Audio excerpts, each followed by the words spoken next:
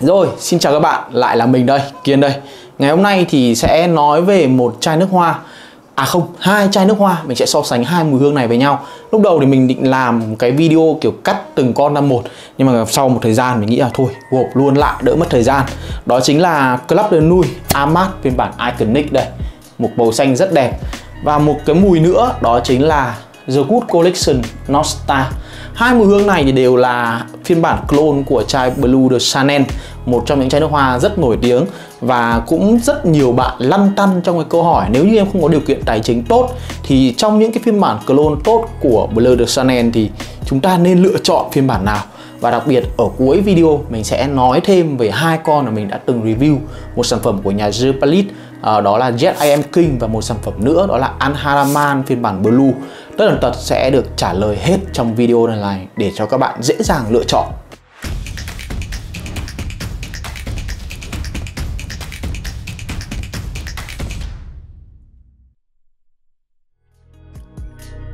Đầu tiên thì chúng ta đi vào phần thiết kế của hai chai nước hoa này. Cái nhà Amat thì nó có thiết kế rất là quen thuộc Đặc biệt là ở trong cái line Club de Nuit đây, các bạn có thể dễ dàng nhìn thấy. Cái thiết kế màu xanh này trông cũng rất là ấn tượng và đặc biệt là họ có những cái phần vân ở đây. Các bạn nhìn nó khá là sáng tạo. Với cá nhân mình thì cái đoạn xích ở đây nó cũng rất là may mắn là không đứt. Nhưng mà thường những cái sản phẩm có xích như thế này của nhà Amat thì nó rất là hay đứt. Và một cái nữa mà mình thấy nhà Amat làm nó là rất là kiểu nặng và kiểu cầm rất là chắc tay. Thậm chí rằng là các bạn có thể cầm để tự vệ còn đối với cái thiết kế của The Good Collection thì cá nhân mình đánh giá họ tinh tế và sang hơn một bậc. Tại vì ngoài cái thiết kế mạ bóng như thế này, Nhưng mà nó lại có một cái là nó dính vân tay. Thì các bạn sẽ có một cái phần nắp, Đó là nắp nam châm. Khá ok. Ngoài ra cái hộp của nó đi kèm thì còn có một chai chiết ở phần đuôi để các bạn có thể cắm vào nếu như các bạn có nhu cầu mang nước hoa đi nhưng mà không muốn cầm hẳn chai to.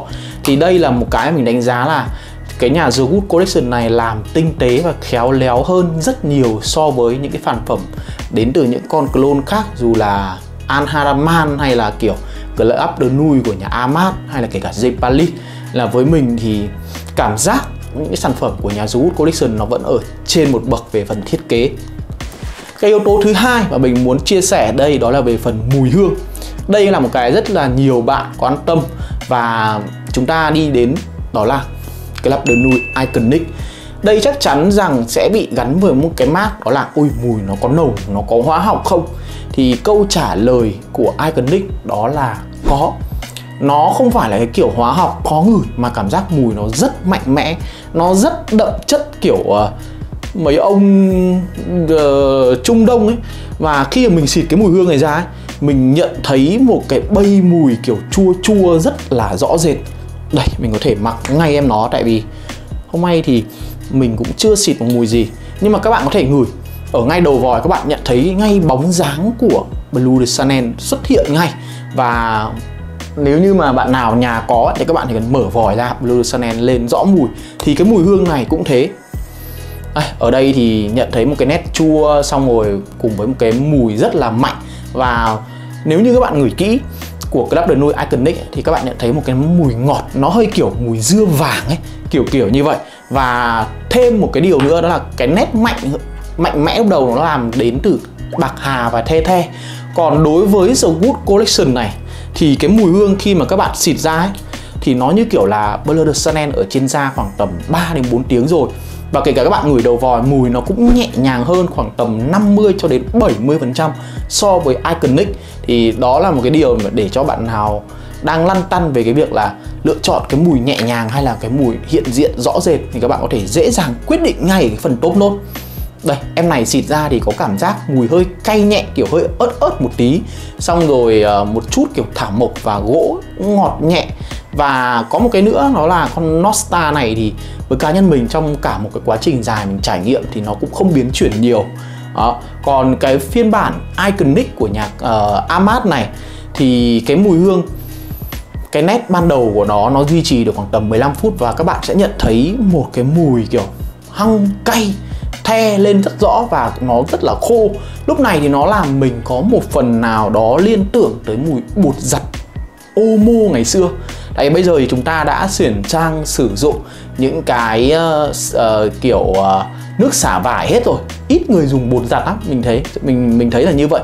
Nhưng mà ở cái con này ở trên da uh, khoảng tầm 15 phút thì nó lên cái nét bột giặt rất rất rất rõ. Khô xong rồi mùi hăng the the xong rồi nó hơi giật giật ở mũi.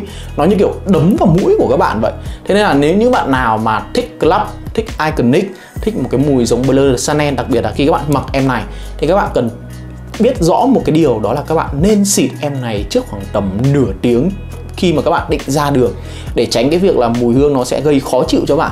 Hoặc là các bạn xịt lên quần áo khoảng tầm trước một tiếng khi các bạn đi ra đường. Còn đối với em này thì các bạn có thể mặc và các bạn đi chơi ngay lập tức mà các bạn không bị cái vấn đề đó. Về sau dry down ở trên da thì cái mùi hương của The Good Collection nó cũng không quá là khác biệt mà nó chỉ mỏng hơn so với ban đầu thôi. Vẫn một cái bay rất đặc trưng đến từ Blur de Chanel và nó sẽ là một cái phiên bản nhẹ nhàng hơn kể cả so với Blur de Chanel luôn. Vì thế thì đây là một cái phiên bản mà mình cảm giác là nó sẽ dễ xài hơn được nhiều dịp.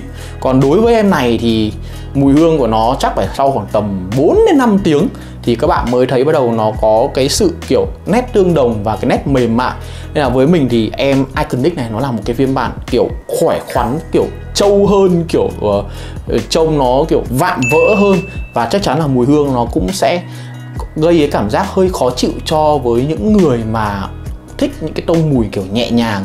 Mặc dù là dù thích Blur de Chanel chăng nữa, thì em này vẫn phải xịt trước một thời gian trước khi các bạn đi ra đường.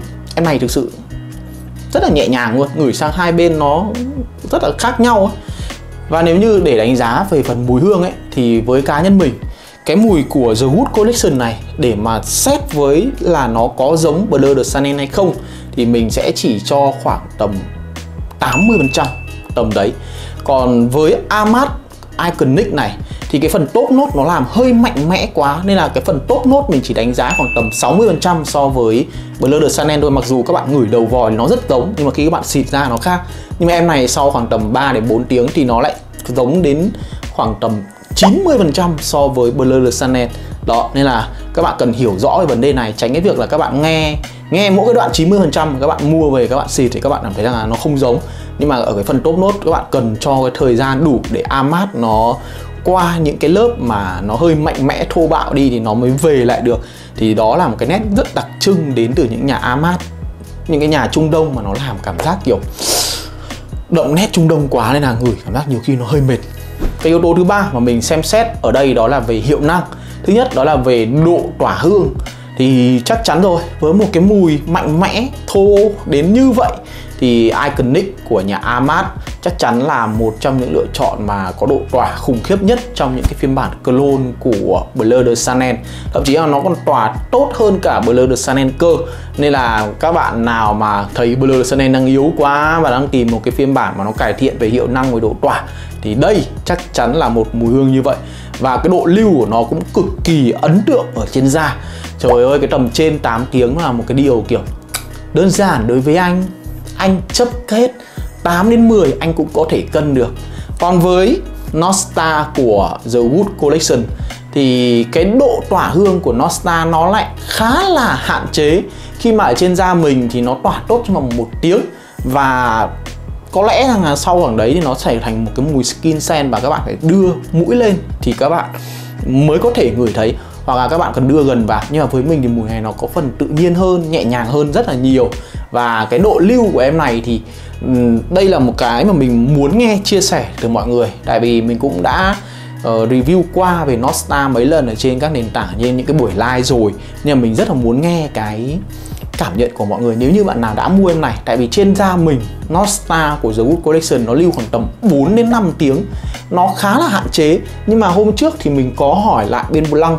Mình hỏi là, anh ơi, anh xem hộ em xem là cái con ờ, Nostar của The Wood nó lưu tốt không? Thì anh bảo là, lưu tốt lắm, nó khoảng 8 tiếng. Nên là cái này thì mình muốn chia sẻ trên một cách khách quan nhất đối với những người xem của mình, những người tin tưởng mình. Và nếu như những bạn nào mà đã tin tưởng mình mua thì các bạn cũng có thể feedback lại về cái phần độ lưu hương của Nostar vì với, với Blanc thì tôi cũng kiểu hơi 50 50 ấy, nên là tôi không rõ lắm. Nên tôi muốn nghe ý kiến từ mọi người thêm về cái phần hiệu năng của em này. Nên là với tôi thì hiệu năng của uh, à, Nostar của The Wood Collection nó thua khá rõ rệt so với Club de Nuit Arcanic điều số 4 mà các bạn cần biết ở đây đó chính là cái câu chuyện mùi hương nào nó sẽ đa dụng hơn tại vì cái sự khác biệt về hiệu năng, về phần mùi như vậy, thì chúng ta có thể cần một mùi nào mà xin được hàng ngày. Với mình thì phiên bản này là một cái phiên bản nền nã hơn, rất rất nhiều, kể cả so với Blur de Chanel. Nếu như các bạn thấy Blur de Chanel mà các bạn di chuyển ngày trời, những ngày hè, nó vẫn có phần hơi ngột ngạt, thì đây là một trong những lựa chọn đấy. Nhưng mà hãy nhớ về cái phần hiệu năng lúc mình vừa nói nhá. Em này nó thật là nếu như mà ngày hè 35 độ các bạn vẫn có thể mặc được còn với cái phiên bản Iconic này, thì với cá nhân mình mình thấy rằng con này nó sẽ phù hợp office nhiều và thích cái kiểu thu hút mọi ánh nhìn. Vì cái độ tỏa của nó, mình thì vẫn theo cái trường phái là thích những cái mùi hương tỏa nhẹ nhàng hơn. Tại vì nếu như mà ông nào mà chơi nước hoa lâu rồi thì các bạn sẽ quan tâm đến mùi nhiều hơn thay vì cái phần hiệu năng. Đây cũng là cái câu chuyện mà hôm qua mình đi ọp, mình có chia sẻ với những anh em. Những anh em mình bảo là ừ em cũng không hiểu tại sao mọi người cứ quan tâm đến hiệu năng nhiều như vậy. Em chỉ cần mùi ngon thôi, hợp thôi là em đã hạnh phúc lắm rồi. Nhưng mà những người dùng bình thường thì chúng ta lại cần những cái điều đó. Nên là với mùi hương này thì mình nghĩ rằng là cái tầm thời tiết tầm 35 độ các bạn cần cân nhắc về số lần xịt một xíu. Có thể là hai, ba, tùy vào cái nơi bạn đến nó có nhiệt độ ra sao, có điều hòa hay không. Còn dưới 35 độ thì các bạn có thể mặc ok hơn nhưng mà mùi hương này thì tầm 4 sót, 3 4 sót các bạn vẫn có thể mặc được với nhiệt độ là trên 35 độ tầm 40 độ các bạn vẫn mặc được em này. Mùi khá là nhẹ nhàng. À, này thì đánh giá là lên kiểu thảo mộc kiểu gỗ ngọt nhẹ nhiều hơn. Em này thì chi chút xong rồi mãi về sau thì mới giống được. Chúng ta tổng kết lại đó là sau những hai cái sản phẩm mà mình vừa chia sẻ cảm nhận. Và chúng ta có thêm hai sản phẩm nữa đó là Jet IM King của ờ, ờ, uh, uh, Zipalit này rồi những cái sản phẩm như là Anharaman Blue thì chúng ta nên mua phiên bản nào? Tất cả những con đấy thì có nó có tầm giá xem xem nhau. Có lẽ rằng là Iconic uh, và con Zipalit nó sẽ ngang ngang tầm giá với nhau. The Wood và con Anharaman nó sẽ nhỉnh hơn. Hai con này nó sẽ cùng phân khúc với nhau.